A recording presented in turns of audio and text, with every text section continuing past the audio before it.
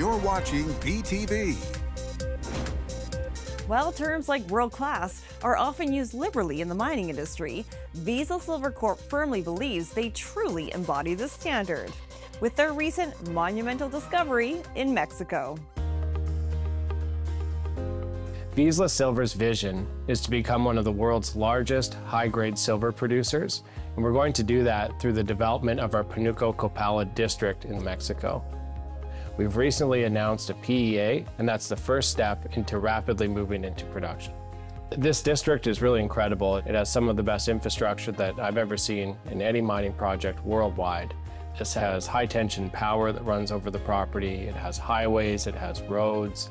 As a matter of fact, we've drilled almost 400,000 meters of diamond drilling without ever having to build our own roads on the property. This is the best infrastructure project that I've ever seen. Closest city is Mazatlan, which is an hour away from the project. And because of that, we have a highly skilled labor force and we have all the ingredients you need to make a low capex mine. Infrastructure is meaningless without a valuable asset to develop.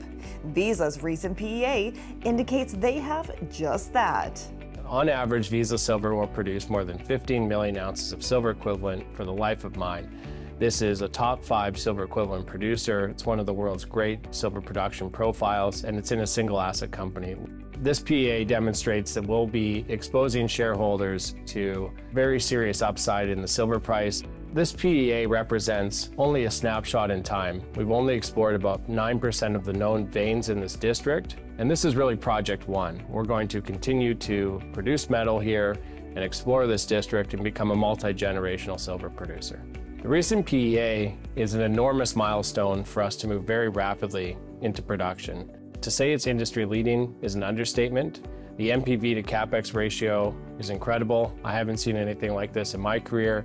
We have such a low CapEx and such a high NPV that the project, it looks like it's going to be an incredible cash flow machine. Vizsla's plan is to develop and operate the Panuco mine themselves, and they have the expertise in-house to make it a reality. Our board as a whole has uh, hundreds of years of combined experience, including operating mines in Mexico, building some of the world's largest mines, and operating some of the world's largest mines. So our team, our group, has done this before, and we're going to do it again here with success.